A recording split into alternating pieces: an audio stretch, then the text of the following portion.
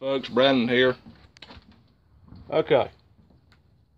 It's a little bit mixture of sunny and cloudy at the same time here. So this is the video quality as far as the brightness we're dealing with today. Got my Tru-Spec patch cap on, patch cap on, patch cap on. Got my Rothco made in India, all cotton shemagh. Got my loveliest, most carpenter pants by Wrangler. Got my 511 knockoff hiking shoes. And got just a shirt I picked up. And we all know it's Christmas Eve, so that'd be Merry Christmas to all y'all.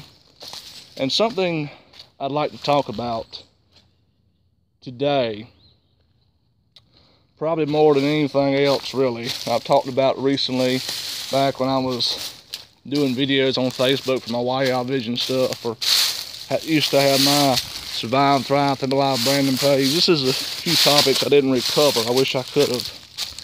Is that a lot of people have misconception of survival tools and tools in general and whatnot. You see, people think you have to buy this $300 big gigantic survival knife to survive anything or you need the smallest 100 plus dollar knife for a bushcrafter. Really, for a lot of decent stuff, all you need most time is a multi-tool or a Swiss Army knife or just a good blade for most regular small stuff. And then possibly something like a hatchet for your heavier stuff. And if you don't want none of that, just get you a multi-purpose tool then. Or also what's known as a one-tool option.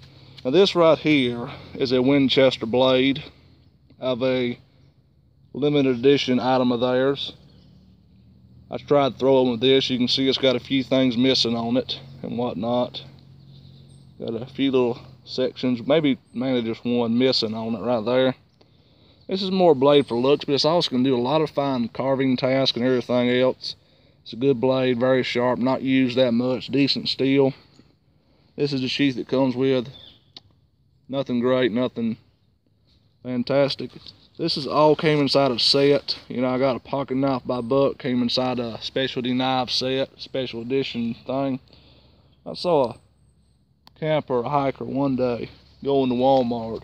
Had a pretty large Winchester knife on the side, big old backpack full of stuff. It wasn't one of them Bowie style one, but it was Winchester, I could tell.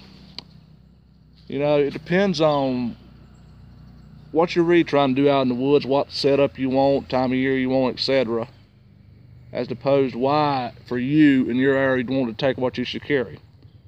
And a lot of people, because they love hacking stuff machetes, thinking they're cool walking through the woods. You ain't got to hack every limbs of free. You just push it aside with your hand, take a stick, walk a stick, push it aside. Even take a blade of your machete or whatever big knife, push it aside. And too many people re-overuse their blade not even understand the strength or whatever quality their steel their blade has, what it's meant to be used for in certain tasks.